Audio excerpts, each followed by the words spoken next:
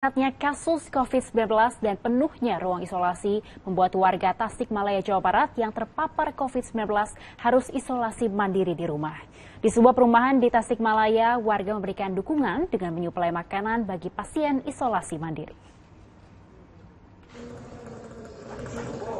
Warga perumahan Pondok Karisma, Panglayung, Cipedes, Tasikmalaya, Jawa Barat bergotong royong membantu pasien COVID-19 yang terpaksa menjalani isolasi mandiri di rumah.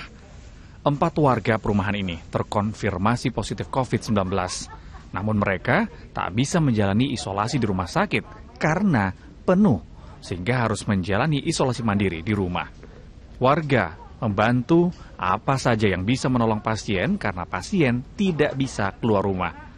Mulai dari menyiapkan makanan ringan, nasi rames, buah-buahan, vitamin dan madu, hingga beras. Dan tak ketinggalan, tabung gas. Selama 14 hari, tiga kali sehari, makanan siap diantar oleh warga dan ditaruh di pagar rumah. Alhamdulillah kita eh, terutama dibantu sama ibu-ibu hmm. di sini itu untuk jatah makanan itu udah full untuk 14 hari hmm. jadwal yang ngasih makanan alhamdulillah antusias semua warga banyak hmm. dan semua warga di sini support uh, terhadap mereka yang uh, isolasi mandiri. Saat ini terdapat 600-an kasus COVID-19 aktif di Tasikmalaya, 250 orang di antaranya tak tertampung di ruang isolasi rujukan pemerintah. Eko Setiabudi melaporkan dari Tasikmalaya, Jawa Barat.